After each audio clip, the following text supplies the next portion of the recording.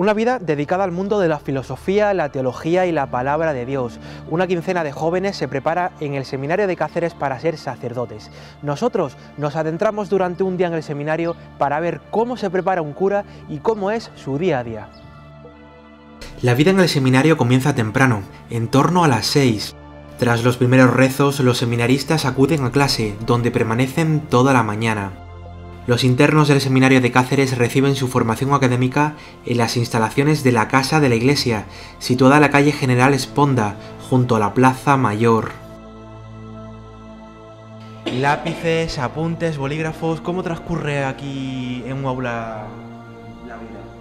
Bueno, pues la vida, pues como cualquier estudiante, una vida, aunque también somos seminaristas, pues tenemos una vida de oración, por la mañana muy, temprano, decía, a las 6 de la mañana estamos ya levantados, tenemos un, largo rato de oración, por la oración de la iglesia que las laudes, después tenemos las clases como cualquier estudiante de 9 a 2 de la tarde con la asignatura de filosofía, como en este caso pues fenomenología, antropología, hebreo, cosas, es decir, asignaturas que son de un conocimiento bíblico y también del pensamiento humano para que luego nos ayude pues a enfrentarnos a la teología, es decir, una, es decir, un trabajo diario.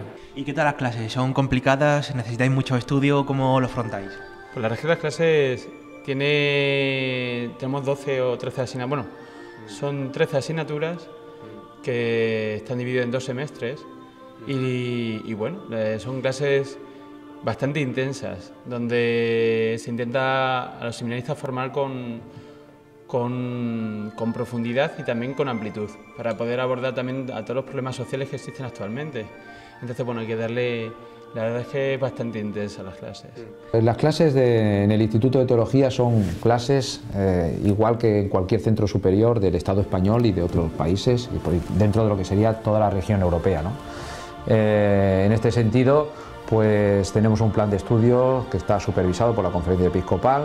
Nosotros, el Instituto Teológico, al ser un centro agregado a la Facultad de Teología de la Universidad Pontificia de Salamanca, pues es un centro que cumple todas las garantías y exigencias de, un centro universitario. Eh, la Universidad Pontificia de Salamanca eh, y por lo tanto el Instituto Teológico como centro de la Universidad Pontificia de Salamanca eh, tiene que cumplir y está de hecho cumpliendo todos los pasos que se han hecho con lo que se conoce el plan de Bolonia.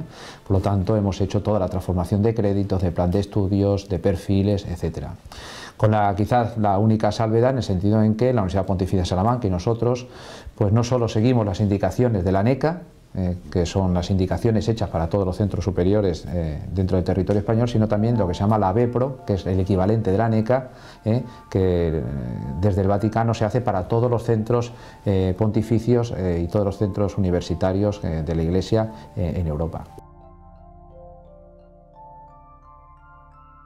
El seminario permanece instalado de manera temporal en la montaña, junto al santuario de la Virgen. Los internos permanecerán allí hasta que finalicen las obras del seminario, consistentes en la remodelación del edificio. Según las previsiones, regresarán a sus instalaciones en el curso 2016-17. De momento, conviven en comunidad en un entorno privilegiado. ¿Tú cuántos años tienes? Yo 29. ¿Cuándo descubriste la vocación? Uy, yo la descubrí bastante joven, lo que pasa es que me dio miedo y lo dejé. Mm. Desde adolescente yo siempre tenía... No, no comencé, yo estaba estudiando con los franciscanos sí. y bueno, ahí ya uno tenía una inquietud y ya con los 18 años yo empecé a... O sea, dije que quería ser sacerdote, sí. pero en casa me dijeron que mejor estudiara una carrera civil. Sí. Entonces yo hice historia del arte y ya el mundo universitario, tú sabes. Cuando acabé la carrera, yo dije que no quería complicaciones y mm. nada, pues seguí mi vida normal y entré con 25 años. Ya llegó un momento en que eh, veía que no, que yo donde iba a ser feliz era aquí. ¿Y dónde estudiaste, Ricardo? Eh, tu, tu, carrera civil, digamos. Aquí en Cáceres. En Cáceres. En la Universidad de Extremadura. Es decir, tú has tenido una vida de joven normal. Sí, sí, normal. Tú has tenido amigos, has salido. Sí, sí. Y tú tenías una vida completamente normal. Normal. Yo iba con mis compañeros de clase de fiesta, tenía mis amigos. Pues como cualquiera. Sí. sí. Y llegó el momento en el que ya sí que estabas convencido de que era lo que tú querías. Claro, llega un momento en tu vida en que tú ves que no eres feliz con lo que estás haciendo, con lo que eres. Y a pesar de que aparentemente tenía de todo, ¿no? Mm. Pero era como un vacío que no. Y entonces mm. decidí de responder a esa pregunta que me llevaba haciendo hace mucho tiempo, ¿no? Mm.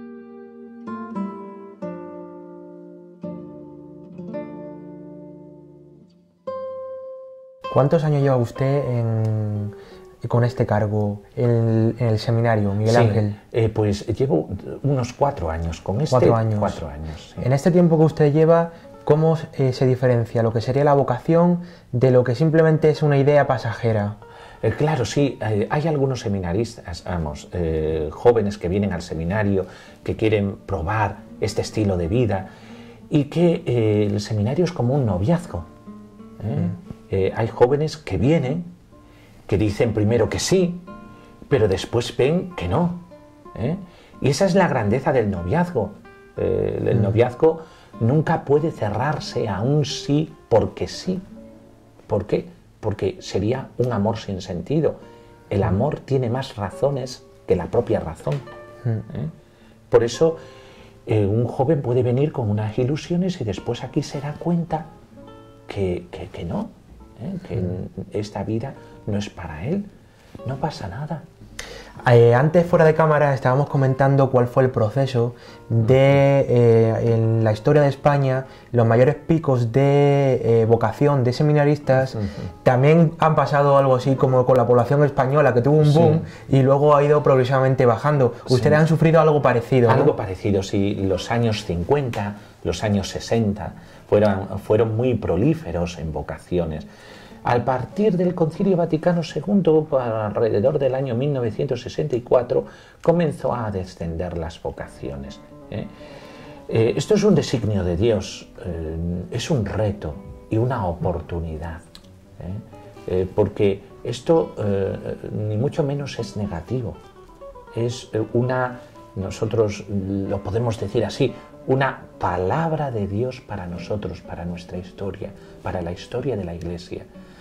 ¿Qué querrá Dios con esto? ¿Qué querrá decirnos Dios con esto? Pues a lo mejor que no está tanto en la cara, está con los más necesitados. Estás hablando del Papa Francisco precisamente, mm. que ha sacado a la luz algunos debates que siempre han estado allí un poco mm, mm. presentes, eh, incluso ha hablado de la homosexualidad, ha hablado de ciertos temas. ¿Piensas que la Iglesia eh, debería de cambiar algunos discursos para conseguir que se acercaran más los jóvenes o no? Más que cambiar el contenido del discurso, es cambiar la forma del discurso, hmm. la manera. ¿Eh? ¿Qué es lo que está haciendo el Papa Francisco? El Papa Francisco está diciendo lo que toda la vida ha dicho la Iglesia. ¿Pero cómo? De otra forma. ¿Un problema de comunicación entonces? Sí. Sí, ha habido un problema de comunicación. ¿eh?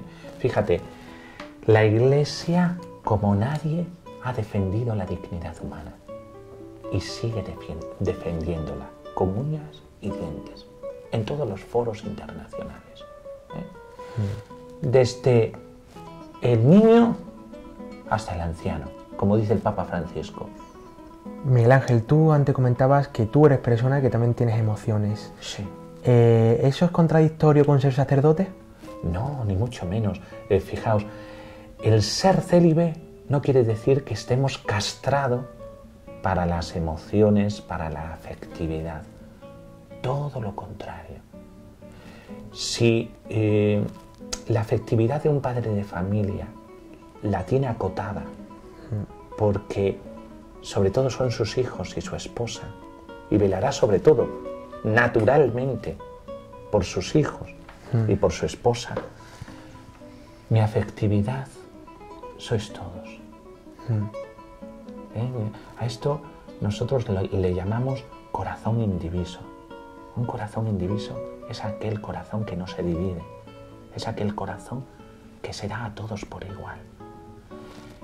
Estas cotas de afectividad la hace el amor incondicional.